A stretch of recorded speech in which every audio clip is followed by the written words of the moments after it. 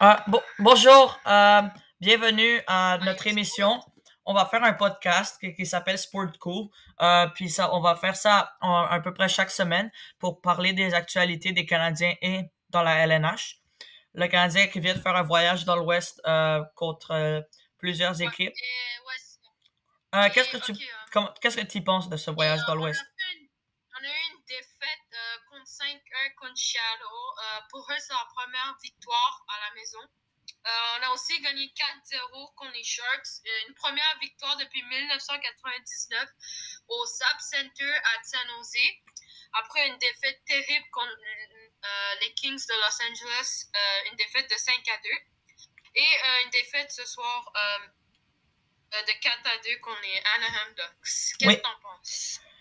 Euh, mais c'est, on dirait que c'est toujours les mêmes choses. Euh, c'est toujours l'attaque qui marche pas, la défense qui marche pas, des gardiens qui allouent des buts, des très mauvais buts.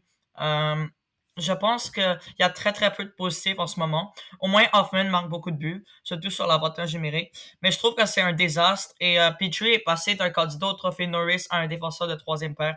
Euh, j'ai tout mon respect pour lui, mais en même temps, il faut qu'il s'améliore, sinon l'équipe va arriver nulle part. Ce qui est en train d'arriver au Canadien, c'est très bizarre passer de la finale à la Coupe Stanley jusqu'ici. Euh, il faut absolument que ça s'améliore. Toute l'équipe a blâmé, a pas un joueur vraiment que je trouve bon en ce moment, à part peut-être Allen et euh, Hoffman et peut-être et euh, oui euh, et peut-être Drouin. Il n'y a aucun joueur qui me plaît, puis ça tout doit changer. Euh, Marc Bergevin est même venu dans le vestiaire, mais juste perdre contre les Ducks d'Anaheim dans un market comme eux, c'est inacceptable.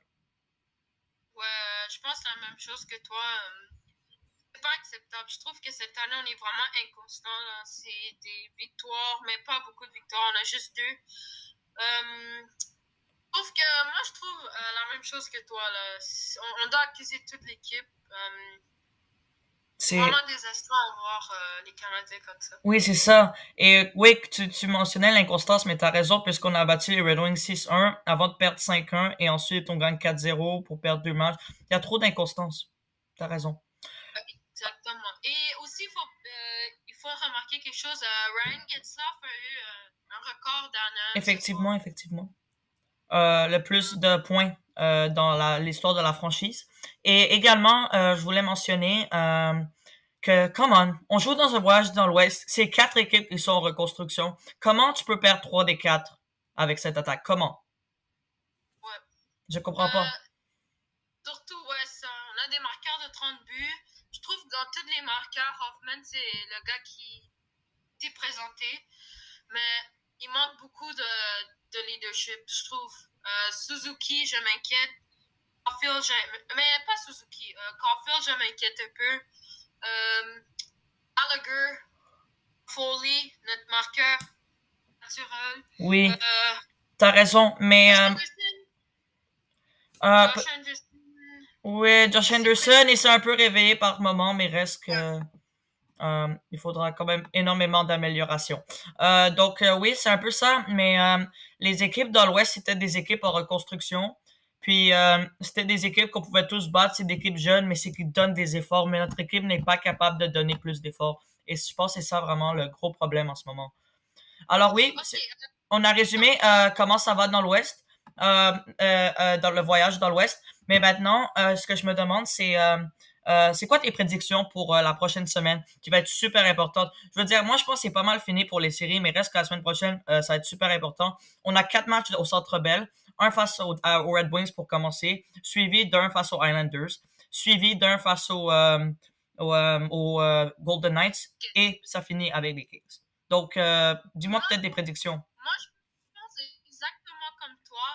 Il faut vraiment. Moi, je pense que c'est- pas pas mal fini, mais comme. Il faut avoir comme une victoire de 10 victoires de suite pour qu'on Ouais, se remet au compliqué. classement. Euh, ok, ma prédiction contre les Kings, moi, je pense que ça va. on- je pense qu'on va avoir un peu d'énergie au centre belle. Je pense qu'on va, on va, on va être vraiment motivé. Euh, je pense qu'on va avoir une victoire de 3-1. Euh, face aux Red Wings, c'est ça? Et après, Les, et après, et, et après face aux euh, Islanders, euh, tu penses quoi?